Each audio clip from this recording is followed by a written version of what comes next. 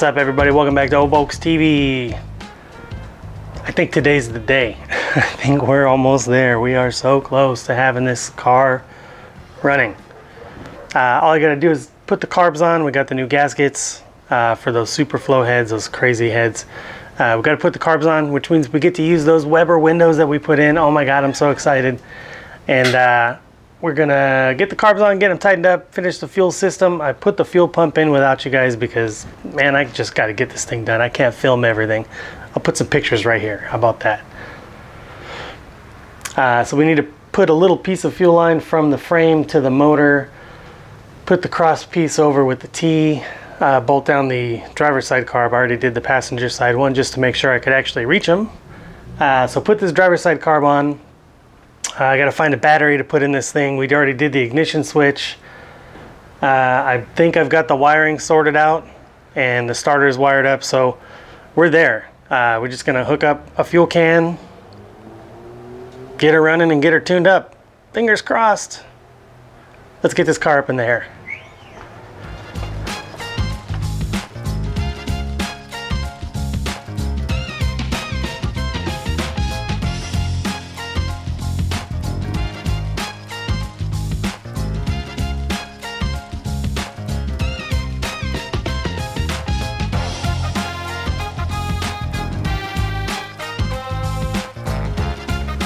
It's not magic. it's amazing, but it's not magic. We got our hands on something super cool. This is the QuickJack TL5000 hydraulic lift. Boy, is it cool. After seeing Tony out there, you know, having his lift in his garage and being able to put his bus up in the attic, I was in love. I had to have one. I don't have room for one like that, and I'm not gonna cut up my garage to you know, be able to get up that high and, and put a two post lift. I don't have room for that. But this one is super kick-ass because it's portable. You can hang it on the wall. You can take it anywhere you want. It's really not that heavy for what it is. It supports 5,000 pounds, which is like a new car. I could lift up the Tiguan and change the oil if I wanted to. Probably not though. but it, it, picks the bug up like there's no, like there's nothing there. It'll do a bus. It'll do pretty much anything. This particular size fits right between the wheels, which is super cool. It's just right. It grabs it by the, the pan uh, or the frame, not necessarily by the jack point, so you don't have to worry about it you know, rusting away and falling apart. Uh, it goes up pretty high. I was actually, I've had it for a little while, and I was actually able to get the motor in uh, the yellow car with it. It got that high. Just slide that thing right underneath, lower the car a little bit, do some adjustments, and we had it. Uh, so that's rad. Uh, you can get underneath it. It's super safe. It's got a mechanical lock, so it can't come down on you. Uh, you just release the pressure and they hit these little stoppers. Pretty cool. It's it's really small. This is the whole thing.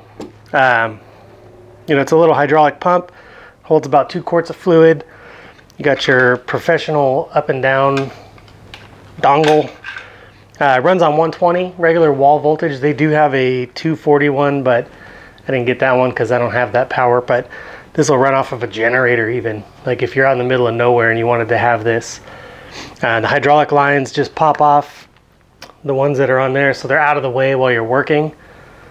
Pretty cool and very affordable actually. Uh, I picked it up on Amazon. It was like 1500 bucks, which is not terrible. It's, you know, more than a jack, but uh, it's far more versatile. It picks the whole car up straight. Putting the motor in, you're putting the motor in straight, not at an angle. That's cool. It makes it so much easier. I can get all the wheels off. I can do all the brakes. I can pretty much work on everything on this car just with this lift in place. And it'll hold it up, you know, indefinitely once you put it on the stoppers. It's super solid. Uh, I don't feel like the car is going to fall down on me. I did the exhaust with it on there too, which was usually that's a pain in the ass, but Super cool, man. Quick Jack TL5000. I'll put a link down below. Game changer. Got some new lights in here. Got this jack in here. Got a little bit more room in here. This is awesome.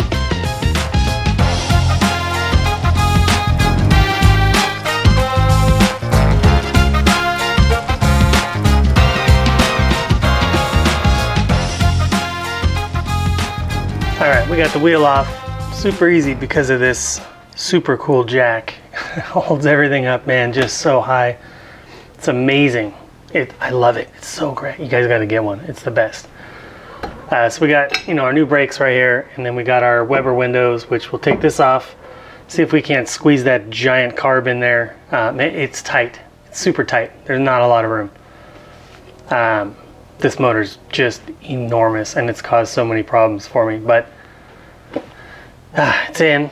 Um, I'm gonna see if I can get that carb in there. Let's get this Weber window off and we'll, uh, we'll get to work.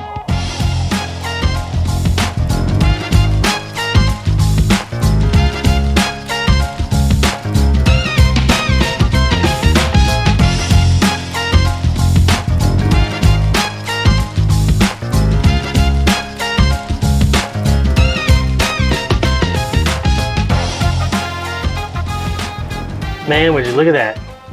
Look at all that room.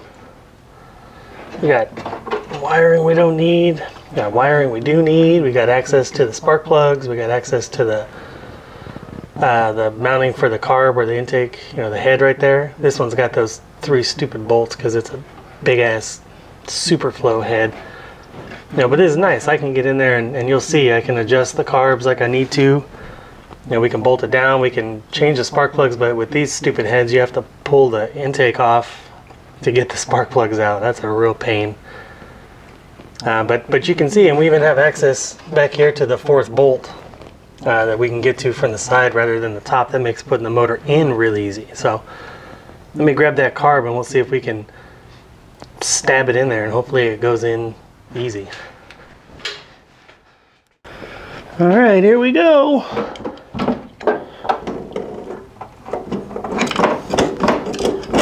Oh my god, that's so much easier than the other side. the driver's side was tight. Like way too tight. That's not good. This one seems to be a little better.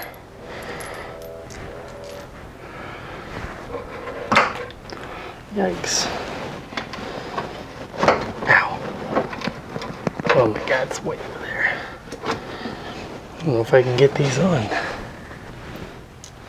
I'm using these little 11 millimeter space saver nuts just so I can get a socket on there. And I did put the new gasket on already.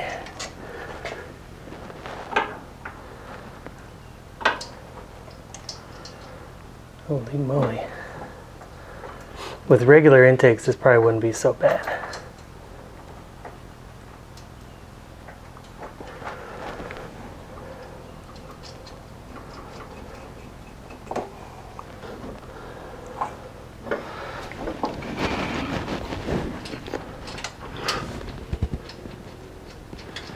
Boy, that was luck. That one was luck.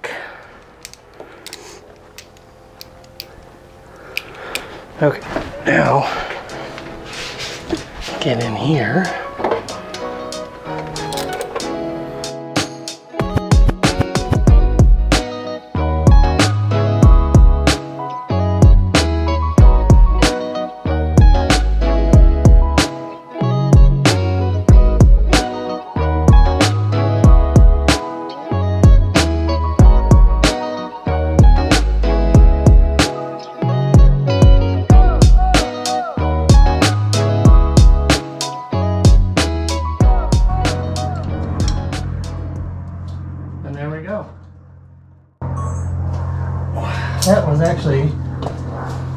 Easy. That beats the heck out of fighting it.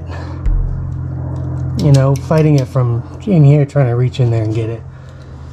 Having that 36 horse shroud on there also uh, really helps because you get a lot more room, you know, in there. So you're not banging into it. So that'll be nice. And now you can see how easy it's going to be to adjust this carb. You know, because I have access to the screws so easy. Just jack it up, take the wheels off, and take the covers off. I got it. Everything's within reach. Super nice. Weber windows. All right, now we got to get that fuel line over to uh, hook it up to the T. You know, I bought obviously extra just because you don't want to have it to be too tight. Uh, so we're gonna go ahead and cut it. This is uh, ethanol safe, you know, newer rubber fuel lines. Always want to replace all your fuel lines uh, whenever you're back there messing with it. And there we go. I'm gonna put a hose clamp on that and then we gotta run one down and then we gotta make then we gotta make the metal line that comes up from the pan, you know, that goes through. Uh, and I'll show you how to do that right now. All right, so we got the fuel line crossing the carbs and we got the fuel line from the tank back all blown out. But in between, you've got a metal line you got one that comes up out of the pan and then you put a little piece of rubber on it and then you got the metal one that goes up to the back of the motor through the firewall and then that connects to another little piece of rubber that connects to the T. Uh, so what I've got here is some cheapo AutoZone brake line and we're just gonna cut it up and bend it, slide the rubber on. It's that easy. Here we got our, our little tubing cutter. You know, you just kind of give her a little twist on the knob there and, and run it around the outside of the, the pipe. I kind of eyeballed it.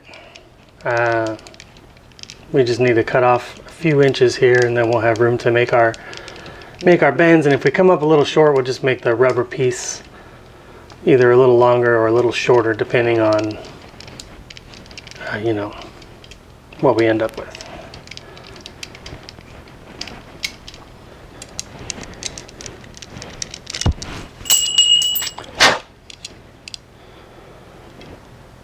There we go.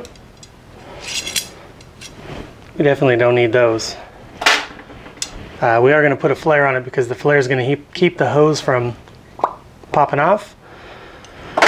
So we'll use our little flare tool uh, once we figure out the length and everything. But let's get underneath the car and I'll show you where where it connects to on the body, and then we'll we'll make our little hand bends to get it where we want it, uh, and then we'll work on on cleaning up this top end and, and putting a flare on it Let's get underneath that car. All right, here is the fuel pipe coming out of the transmission frame horn. This runs through the, I guess it runs through the tunnel all the way out and then it pops out in the in the front where the like the brake master is and everything and that's where we hooked up our electric fuel pump. And then this goes up through the firewall over here, but you don't want to just run a a rubber one up there because it's going to rub on your metal and it's going to get leaky.